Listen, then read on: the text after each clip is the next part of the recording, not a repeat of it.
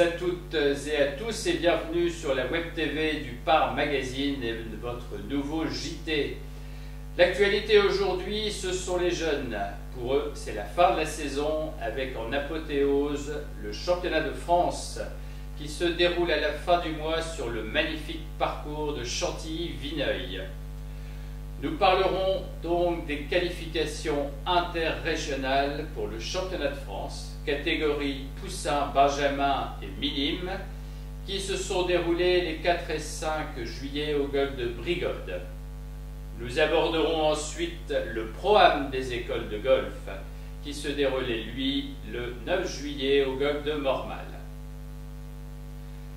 À Brigode se tenaient les qualifications interrégionales pour le championnat de France les catégories présentes étaient les poussins, benjamins et les minimes. Des jeunes venus de la région Nord-Pas-de-Calais, de Picardie et de Normandie se sont donc affrontés durant deux jours afin d'obtenir le précieux sésame pour le championnat de France. Allons tout de suite sur place pour voir comment se sont débrouillés nos jeunes espoirs.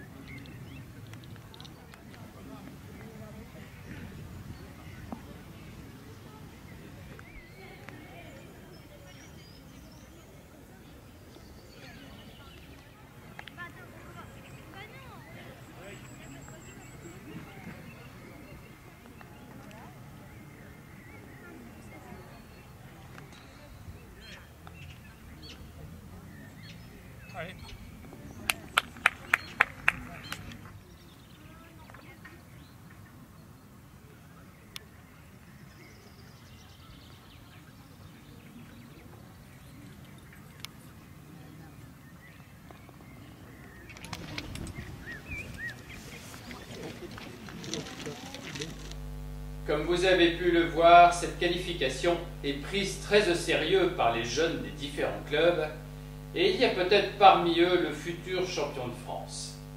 Côté filles, sans surprise, c'est Bondu qui a obtenu les tickets qualificatifs, avec notamment la victoire de Chloé Caron, sœur jumelle de Mathieu Caron, grand espoir du golf, avec une carte de 142, alors que chez les garçons, c'est Alexis Leray de Chantilly qui s'est imposé avec une carte de 141.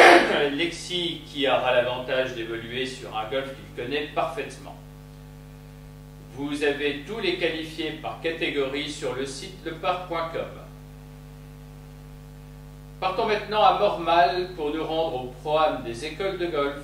Chaque année, les écoles de golf des clubs de la région clôturent la saison en disputant une compétition par équipe composée de trois jeunes et de leurs pros. 21 équipes représentaient leur club le 9 juillet, et c'est sans surprise l'équipe de Bondu qui remporte en brut ce programme avec 11 points d'avance sur les seconds Vibreux. L'équipe était emmenée par Joël Bernard et composée notamment de Mathieu Caron, tout récent vainqueur du Scottish Boy U16. En net, c'est Ubry qui s'est imposé. Rendons-nous sans plus attendre à Mormal.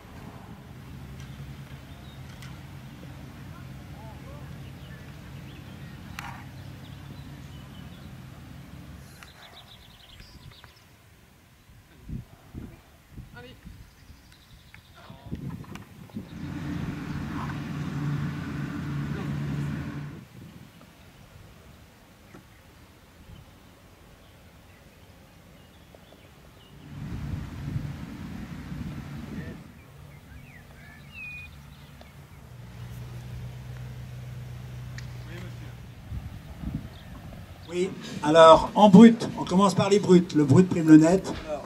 Première, l'équipe de Bondu, Joël Bernard, Mathieu Caron, Sophie Bayeul, Pierre-Louis Bayeul, 129. Alors maintenant, on passe au net, au premier net. L'équipe première net avec 115. C'est l'équipe de Bruno Tiradon, Alexandre Marie-Jeanne, Grégoire Dervaux, Baptiste Watchke. Ah, formidable compétition, n'est-ce pas, placée sous le signe de la convivialité et de l'esprit d'équipe. Les jeunes et moins jeunes ont ainsi pu se mesurer à un parcours de 18 trous difficile, le parcours étant rendu encore plus difficile à cause de la présence d'un vent fort. Voilà pour nos jeunes. Maintenant, place aux semaines à venir, quatre grands événements ce mois de juillet, avec cette semaine les internationaux de France qui se déroulent à Wimereux la semaine prochaine le Grand Prix de la Côte d'Albâtre du 19 au 21. C'est le seul Grand Prix ouvert à tous les handicaps qui se joue sur trois jours sur les quatre parcours de Dieppe, Étretat, Le Havre et Rouen. Ceci en fonction du handicap. L'année dernière, plus de 400 joueurs ont participé. Vous pouvez encore vous inscrire en appelant le golf de Dieppe. Une démonstration par Nicolas Colsart, 40e joueur mondial, attendu le 24 juillet à Dames sur la côte belge. Il fera un clinique puis jouera avec deux joueurs belges, Thomas Peters, nouveau sur le circuit européen et qui s'est classé 29e à l'Open de France, et Thomas Detry, 102e joueur mondial amateur. Ce sera juste avant la participation de Nicolas Colsart à suivre au British Open. Enfin, le golfe du Vaudreuil en Normandie près de Rouen et Évreux accueille du 25 au 28 juillet une étape du Challenge Tour. La plupart des grands joueurs du classement européen sont passés par là et les scores sur ce championnat sont souvent bluffants. De belles parties à suivre sur un très beau parcours repris récemment par Jean-Claude Forestier et transformé en parcours de championnat car il fait partie de la PGA. Nous vous remercions d'avoir suivi ce troisième JT du Par Magazine. Vous pouvez retrouver l'intégralité des vidéos sur notre site, bien sûr, lepar.com, rubrique Web TV sur la page d'accueil.